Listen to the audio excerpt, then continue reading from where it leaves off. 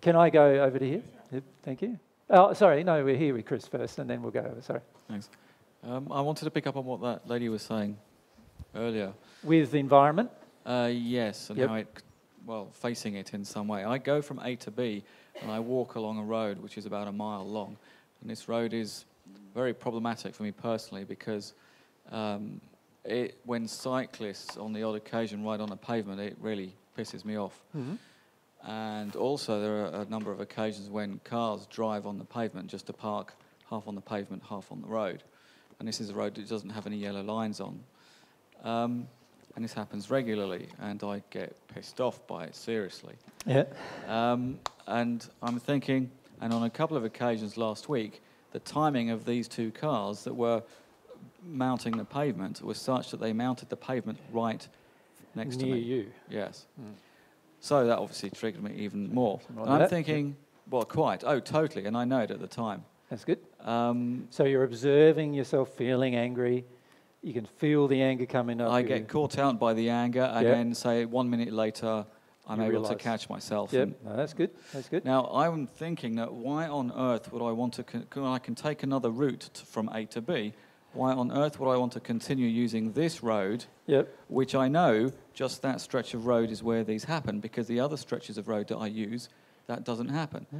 Why would I want to continue using this stretch of road to be triggered in my anger when I could take another route which wouldn't trigger me? So why wouldn't what does your anger make you feel?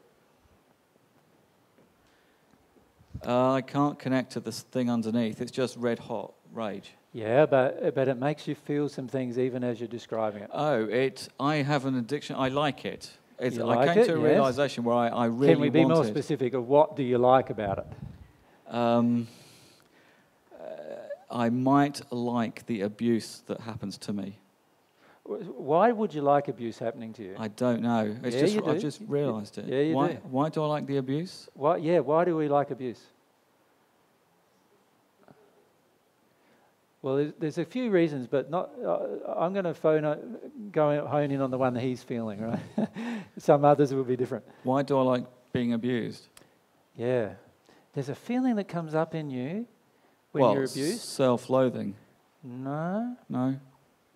isn't there a feeling of injustice that comes up Oh, you? totally. Yes. Okay.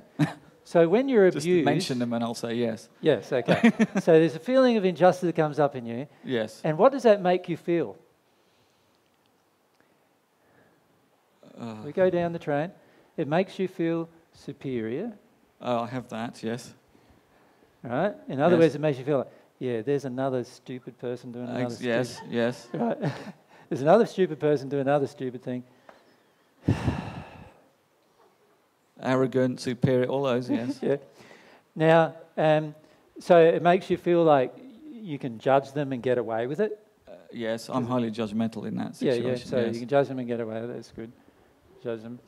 Oh, that I'm that I'm right and righteous. Ah, yes. Yes, makes you feel right. Yes. Right. That's what you like about it. The anger gives you these things, right? Okay. Yes. Okay. Yes. There's your addictions. Your addictions are you want to feel injustice because Okay. when you feel injustice, you get to feel superior. And you get to feel like you can be judged. And you get to feel like you're right and they're wrong. And that means that underneath all of that, so that's your addictions. It means underneath all of that is your fears that you're not superior. In fact, you're inferior. Oh, And that you're judged constantly by others and that you're often wrong. And you don't want to feel those things. I don't want to feel that I'm wrong or judged by others. those are the things you fear, otherwise, you wouldn't create those addictions. So you ask the question, why do I walk down that road? It's because you get to feel all of those things when you walk down that road. Exactly. And that now when you walk down the other road, you don't get to feel. Yes. That's why you walk down the road. But I now no longer want to walk down that road, and walk down the one where it doesn't happen. Well, I Because then I feel I'm treating myself with such disrespect for continuing to go through these feelings in walking down this particular road. Why would I want to be so disrespectful towards myself? because you want those feelings. But now, why do I want to feel when I have the choice to consciously choose another route? Well, you want to, you still have these feelings of wanting these feelings in you. And until you actually feel all the reasons why, you're still going to be Okay. drawn to walking down the road that allows you to feel all those feelings.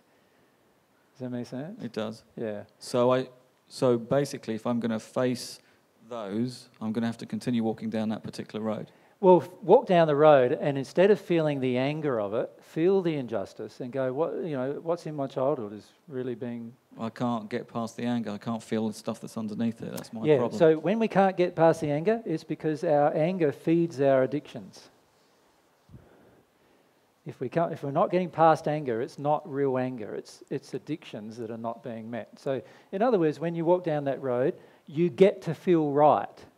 You get to be judged. You get to feel Mhm. superior, right? You get those things up. So, of course, you're going to walk down the road, right? Until you realize that these are all addictions covering over deeper emotions where you don't feel superior and that you need to feel the pain of that. And you don't feel like you're right a lot of the times. A lot of times you feel wrong. And in fact, in your childhood, if you think about your childhood, you were made to feel wrong many times, even when you were right. All right?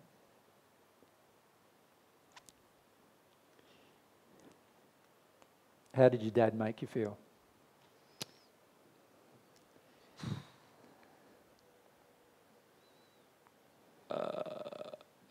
it's like he killed me, basically, How? because he was and is totally incapable of expressing emotion. Mm-hmm. Um, he w- did and continues to fly into rages Mm-hmm. on a hair trigger, basically. hmm um, he never and still doesn't outwardly uh, show his love towards me. hmm I agree. Um, and in fact, I've the last couple of years, I'm the one that's through what I've gone through, who's been able to move towards him to start hugging him and Yep. things like that. Um, but it's it's been complete. I mean, it's like a, a walking brain. He's a walking brain with no connection. Yep. And I, you know, so the rage that, that that came through and the emotional disconnection and the lack of any kind of demonstrative love, not physically, but Mm, you know, vibe Emotionally, yeah. Yep. And and he he's always felt superior to you. He's always right, you're always wrong. Okay, okay. These are things that you will feel as you work your way through your relationship. But a lot of these things are actually related to your dad in terms of how your dad made you feel about yourself and how your dad made you feel in terms of whether you kind Mm. in terms of your environment and justice and all all these kind of things. You feel very like there's a great emotion that rises in when you th- consider your father of huge amount of injustice in your relationship with Okay, him. right. And these particular things cause you to want to, instead of feeling the, the, the sadness that's in yourself about those things, you want to overcome your sadness and your fears by creating these addictions. And this road is one of the ways you do it. Sorry. This road is one of the Oh, ways you do it, walking down this road. Hmm. Like I said, many of our day to day, minute by minute actions are totally driven Mm. by our avoidance of certain emotions. We were driving in the car, Peter and Angela driving in the car, and they then asked me some questions afterwards and said, um, you know, if there's any feedback you want to give us, I'd be we'd be happy to receive it. And I said, no worries. Um, okay, let's start. Like, um, and we went shopping together, didn't we? We went shopping together as well. And I just listed five or ten of their addictions that I observed in a space of one minute and actions that they took as a result of those particular addictions in the space of that minute, if they were aware, they would have seen differently. And that is the case for the majority of people. The majority of people do not realize that even their moment by moment choice and decisions are driven only by specific emotions they're trying to suppress or get. So you, this is the thing with addictions, we're trying to suppress certain emotions while at the same time get others and uh, and most of our actions are taken. And so, like, we, if I give, a, you don't mind me giving the illustration of driving along. So Pete's driving along the car with us in the car. He's a little bit nervous that we're in his car, and um, not anymore. yeah. But at the time when you picked us up from the airport, he was a bit nervous, and uh, and so, and then with Peter, he's a very sensitive man. So he's very sensitive to the emotions of every single person around him. And so what happens was, as he was driving along, if there was a projection from any car driver around him, he could feel it and he would automatically respond with his foot on the accelerator. So it'd be off the accelerator, on the accelerator, slight turn here, slight turn there, slight movement away from that person. that lorry driver is pretty angry, got to get away from him. And he didn't realize that almost every choice he was making on the road was being driven by the avoidance of a fear of some emotion coming from those particular drivers.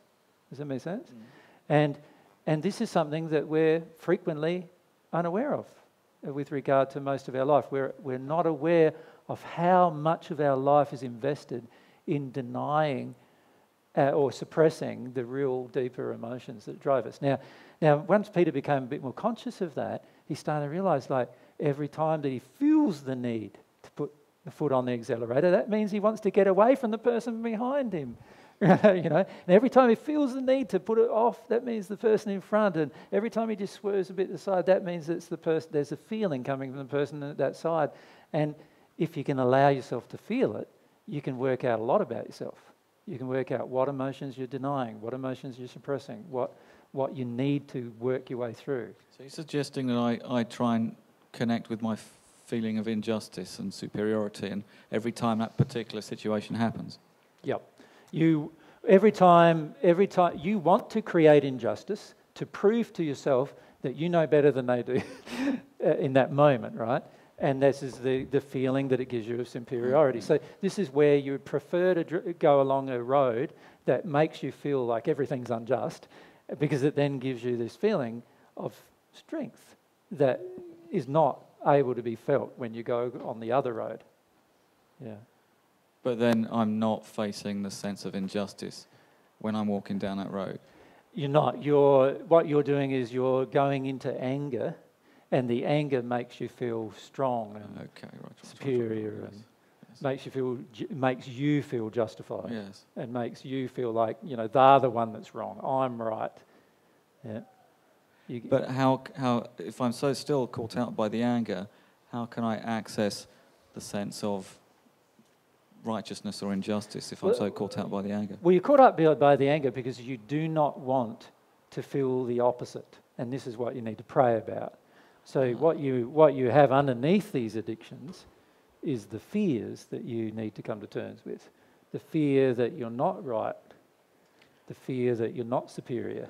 Okay. In fact, the fear that you're like your dad tells you, that you're inferior, not right, always wrong. You know, these are the feelings that, you know, the feeling that, uh, you know, you want to be angry with your dad, really. Yes. And while you want to be angry with your dad, you're going to create that. And until you get to the point where you just want to grieve what your dad has done, you will continue to want to create that. Make sense? Mm. Mm.